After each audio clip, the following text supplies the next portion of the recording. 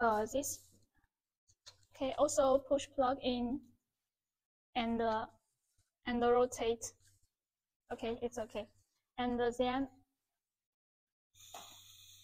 you can listen the uh, gas out, the sound will uh, the sound will out, and uh, and the last uh, press the igni ignition button like this, and you can you can adjust adjust the flame size.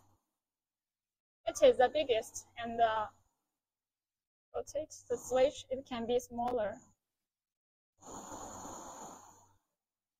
like this it's steady, but but uh, but it can't use upside down uh, like before. It's a little dangerous. Um, just to use uh, in this degree.